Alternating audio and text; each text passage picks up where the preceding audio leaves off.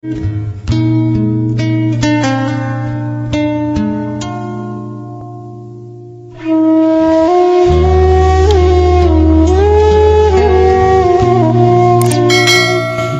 santri yang suka melapor kepada polisi.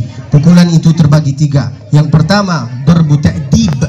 Orang tua memukul anak. Apakah ketika orang tua memukul anak ada perasaan kebencian? Ada enggak? Contoh, ada anak kecil minta pisau dari orang tuanya. Menurut orang tua itu bahaya bagi anak. Menurut anak kecil itu baik bagi dia ketika melempar. Hmm, ini Ketika dipukul, apakah ada perasaan benci terhadap anaknya? Itu namanya darbu ta'dib. Yang kedua, darbu ta'lim, guru mukul kita.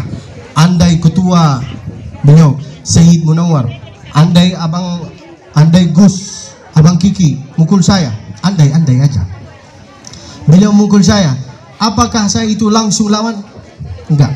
Saya sampai sekarang usia saya 25. Masih muda saya, Ibu masih laku bukan tua saya sampai sekarang saya itu dipukul dimarahin darbu ta'lim guru mukul anak kalau ada di antara kita wali-wali santri yang baru anaknya dipukul baru di sini merah. Saya bukan merah di sini pak. Dulu dulu pas waktu saya di Makkah di sini warna-warni. Merah hijau di sini berapa warna di sini berapa warna. Tapi saya itu nggak pernah mengadu. Tapi saya itu nggak pernah melapor ke polisi. Justru polisi-polisi di Makkah kalau kita itu lapor dia mengatakan rasakan kau, rasakan. Itu kata polisi polisi di sana. Maka setiap orang yang dari sana mesti dia ilmunya itu berkah. Tapi di sini mentang-mentang dapat jabatan. Fir'aun kau ini. Mentang-mentang dapat banyak duit. Korun engkau ini. Oh, langsung kayak gini. Sifat orang sombong itu, Pak, kalau kita berbicara sama dia, ini hidungnya ke atas. Assalamualaikum. Sehat kau? Oh, sombong kali kau. Fir'aun kau. Itulah sifat orang sombong. Kalau berbicara sama orang, oh assalamualaikum pak, sehat pak. Dari mana pak? Masya Allah sudah makan belum pak? Itulah orang-orang yang ramah Orang-orang yang lapang dadanya. Kenapa kita itu selalu berkata Rabbi syrahli sadri? Untuk apa Rabbi syrahli sadri? Lalu engkau ini sombong. Kayak gini bicara. Engkau ini sudah makan belum? Hah? Hah? Hah? Hah? Hah? ini. Yang pertama atur waktunya. Yang kedua mendatangi guru.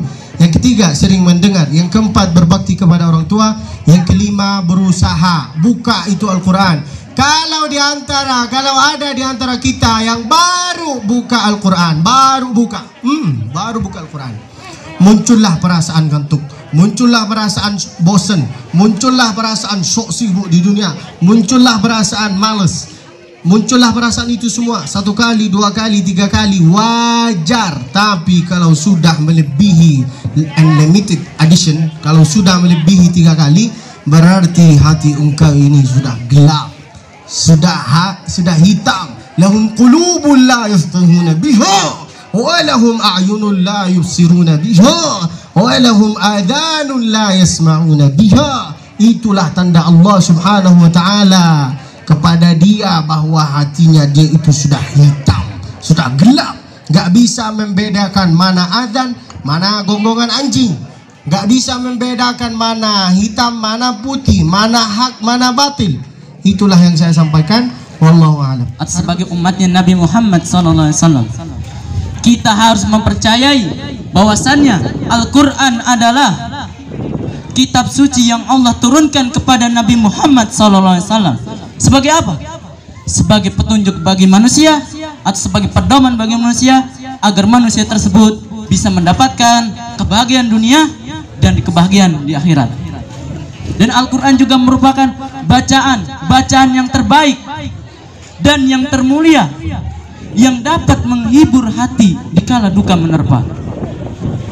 Dan sebagaimana Allah Subhanahu wa taala telah berfirman dalam Quran surah Al-Isra ayat 82. Wa nunazzilu minal Quran ma huwa shifaa'un wa rahmatul lil mu'minin. We send down in the Quran that which is healing and mercy to do who believe. Yang artinya kami telah menurunkan Al-Quran sebagai obat penawar dan serta kasih sayang rahmat bagi orang-orang yang beriman kepadanya. Quran surah Al-Isra ayat 82. Syukran hadza minna. Thank from us. Terima kasih sekian dari kami. Wassalamualaikum